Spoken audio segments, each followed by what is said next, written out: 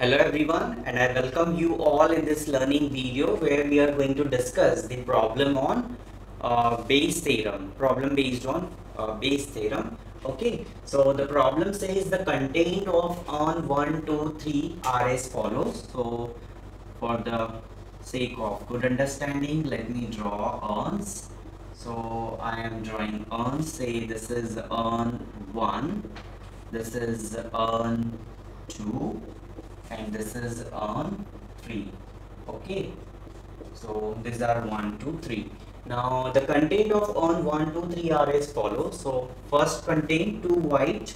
So let me write 2 white then 2 black. So 2b and 3 red. So 3 r. So i am denoting black by b red by r and white by w.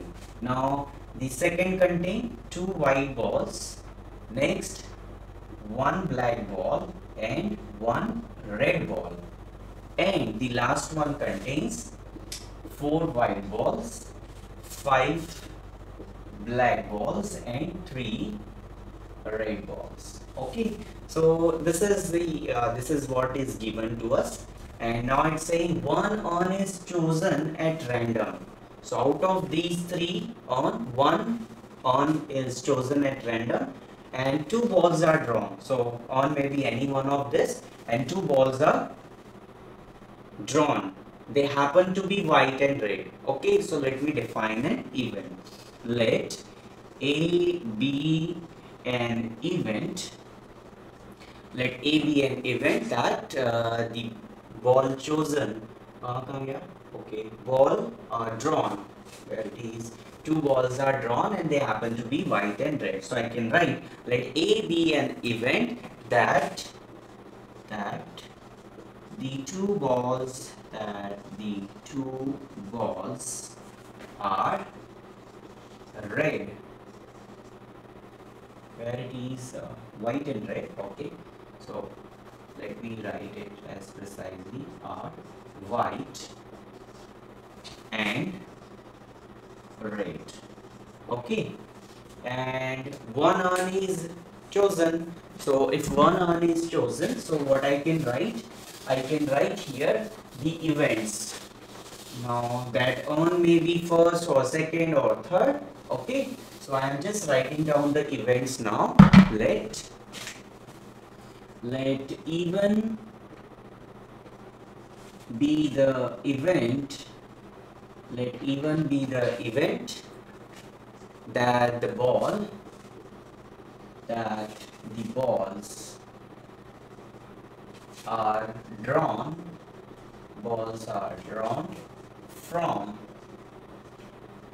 urn 1 likewise you can define e2 be the event that the balls drawn from urn 2 and e3 be the events that the balls are drawn from urn free. Okay? So i'm writing like this. So you have to write this uh, entire sentence. Don't do like this. Just to uh, save some time i am writing this. But in the examination it is expected to uh, write the complete sentences. Okay? Now e1 be the event e2 be the event and e3 be the event that the ball is drawn. Okay? Now what is the probability of e1 the probability of e1 the balls can be drawn from any of the urn and how many urns are there? Three. So what is the probability of e1 1 by 3 likewise probability of e2 is, is also 1 by 3 and same is the probability of E3 which is also 1 by 3 okay? So this is what I can write with the help of the question. Okay? Now what is asked what is the probability that they come from urn 1 so we have to find out what we have to find out? We have to find out probability of what probability of an event and that event is this which is already happened. Okay we have to find out sorry we have to find out the probability of uh, probability of ei given a. Okay because we are known to we just uh, we know that this event has occurred that two balls have been drawn and those balls are white and red so this is known to us means this is given. And we have to find what is the probability that it is coming from urn 1 okay? So we have to find out probability of ei by a. So let me find out first of all all the things. So so what we have done we have defined an event and then events uh, e1 into e3 and the probabilities. Okay now i will find the probability of a by e1 so what does it mean probability of a by e? Why i am finding this? Because it will i will need all these things in order to get the uh, probability uh, that the two balls are drawn from urn number one. Okay so what is probability of a given e1? This indicates uh, this indicates probability of let me type probability of white and red balls. Given that given that it is from urn 1 okay. Given that it is from urn 1 okay. So how one can write the probability? Now what is the probability? Okay. So i have to make an urn. So here i am writing.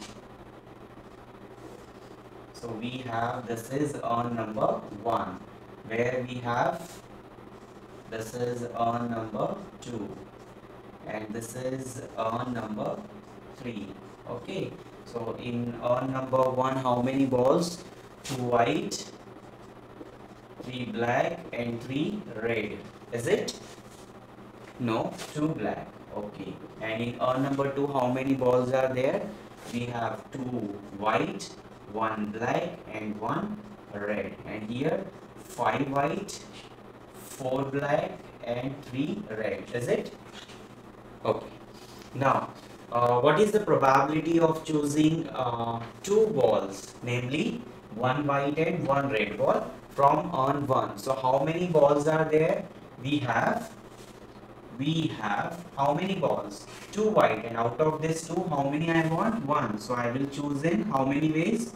I will choose it in 2c1 into now one red ball. So how many red balls are there? Three red balls. I have to select one. So this is 3c1 okay.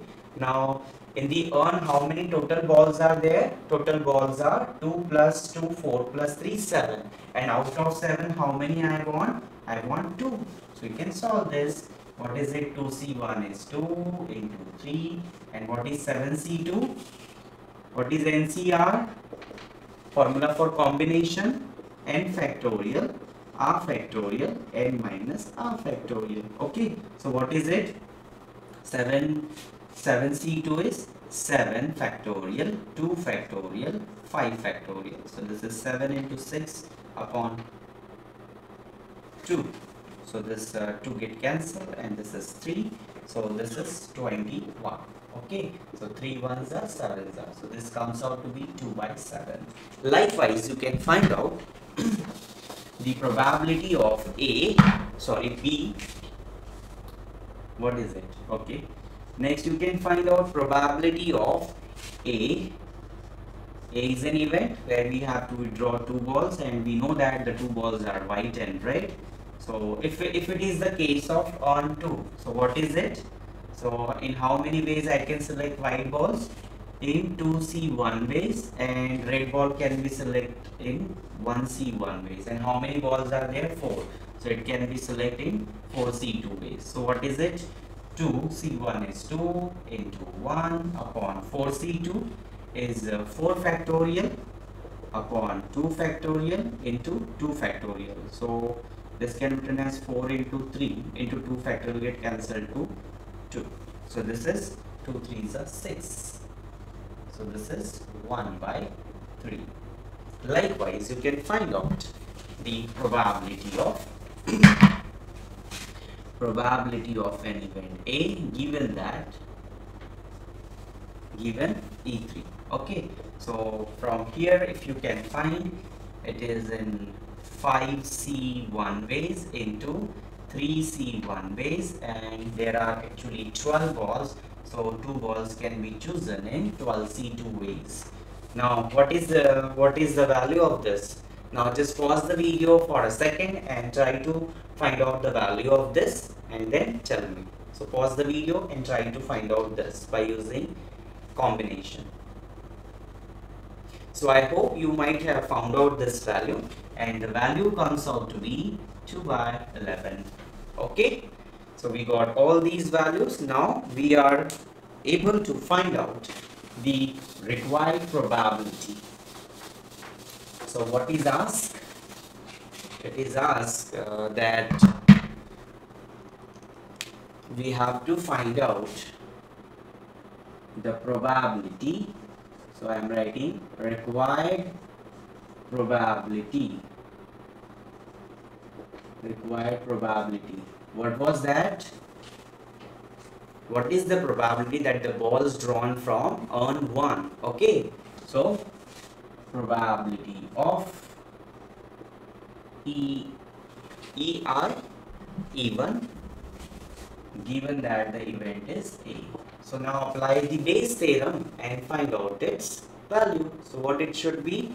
It should be probability of e1 into probability of a given e1 upon sum. So how many mutually exclusive events are given? 3. So my summation will runs from uh, i equal to 1 to 3 p of ei into p of ei into p of a given ei. Now you can run a summation over this. So you remember this probability of E1, E2, E3 are 1 by 3. Okay. So what is it now? So I can just uh, write it like here. Therefore probability of E1 by A is equal to what is probability of uh, okay let me write once again probability of E1 into probability of A by E1 upon when you run a summation here it would be probability of E1 into probability of A by E1 plus probability of E2 into probability of A by A given E2 plus probability of E3 into probability of uh, A by E3. Now you have all these values, just substitute and try to get the answer. What is it? 2 by 7 okay.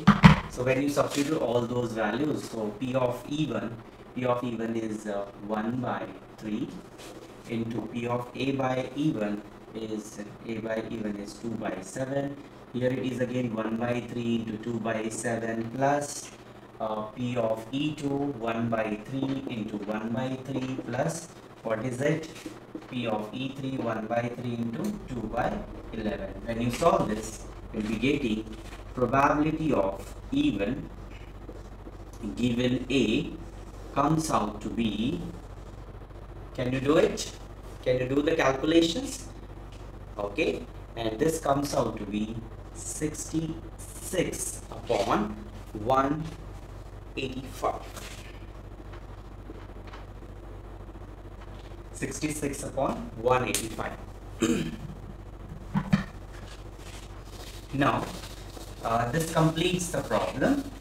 Now the problem asked in the given question was like you have to find out the probability that the ball come from urn 1 now you can take the same problem and you can find out uh, that the balls come from the urn number 2 so what you need to find you just need to find probability of e2 by a. And if it is coming from urn 3 so the probability would be probability of E3 given that the event is occur. Okay? So this is what we have in this learning video. We'll continue this by taking one more example on the same topic and then we'll uh, finish this topic and start the new one. Okay? So thank you for watching this learning video